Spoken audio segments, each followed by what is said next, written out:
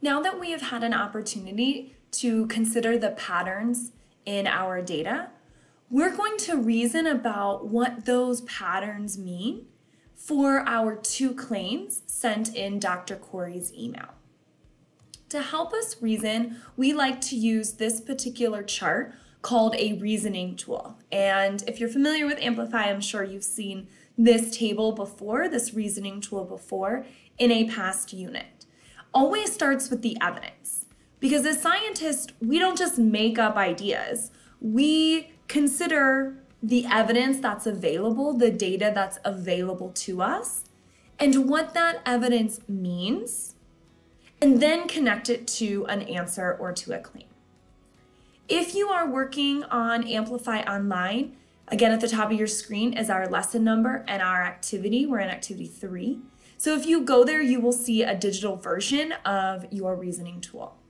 And if you prefer to write your ideas out on paper or you don't have access to Amplify Online, I'd like you to please set up this three column chart, this three column table on your piece of paper in front of you, labeling your first column evidence, because that's where you're going to summarize the evidence from our graph. Second column uh, with the sentence starter, this matters because. Here's where you're going to reason about what that evidence means. And then that final column stating therefore and referring back and writing out claim one or claim two. Remember, just writing claim one or claim two is not helpful because our econauts or our audience might not know the claims that we're talking about, so we want to actually write them out.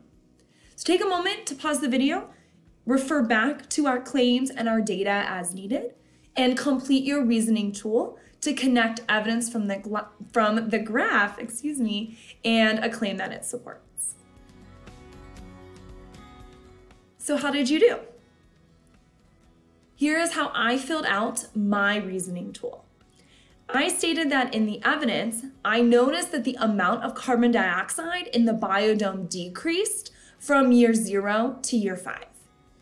And I couldn't state in our graph exactly how much it decreased because I didn't have any uh, quantitative data on that part of my graph.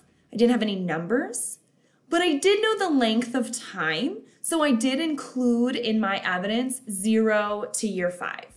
So if you simply just said here that the amount of carbon dioxide decreased, please add from year zero to year five, because that is some of the quantitative data that we did get from the chart.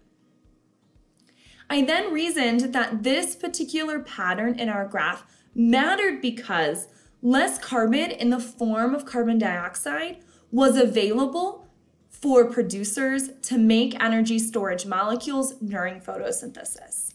And I right here referred back to one of those key ideas, those key concepts that we recorded earlier in the lesson today about how if I have less carbon from carbon dioxide, then I'm going to get less energy storage molecules from photosynthesis.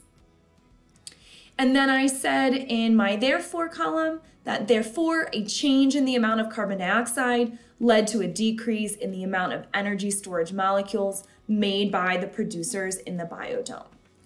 And according to my therefore, my claim column, I am stating that claim number one is the one that is best supported by the data. But again, notice in my reasoning tool, I didn't just write claim one, I wrote out what claim one actually is. And then even though we mentioned in our noticings of the graph earlier that sunlight and water remained the same, I did not include any of that evidence in my reasoning tool because it's not applicable to the claim um, at, that we were looking for as to why our energy storage molecules really did decrease. Now that we figured out all of this amazing stuff around photosynthesis and energy storage molecules and how to impact the amount of energy storage molecules, we are ready to answer our chapter one question that we've been working towards. And that question is why didn't the plants and the animals in the biodome have enough energy storage molecules? We have evidence to support a claim for this, and we have key concepts that can help us reason out the answer for what that evidence means for our claims. So I would like you to pause the video and write an explanation to the Econauts why their plants and their animals in the biodome weren't getting enough energy storage molecules. We are in activity four online if you would like to write out your response there, or you may do so on that paper in front of you. So when checking over your work, I want you to reflect on what you wrote and some of the sentence starters that I have here to make sure that your response to our chapter one question is really thorough and really clear in helping our econauts understand this aspect of why their biodome experiment uh, didn't work in giving their plants and their animals enough energy to survive. So, did you start off with a claim around why your plants and the animals did not get enough energy storage molecules? Did you reference your model and that graph as some evidence? And then did you provide some reasoning to say uh, why this all was occurring? Great work for today. You guys really figured out a whole lot of stuff and really helped make it clear to those econauts this aspect of their biodome. So as we reflect today on chapter one. For next time, um, go ahead and review some of these vocabulary terms because I bet you used a lot of these words in your reasoning tool and in your model from last time and in your explanation to our chapter one question for today. And we're going to continue to see these terms as we move through this matter and energy in ecosystems unit and start chapter two next time. See you then.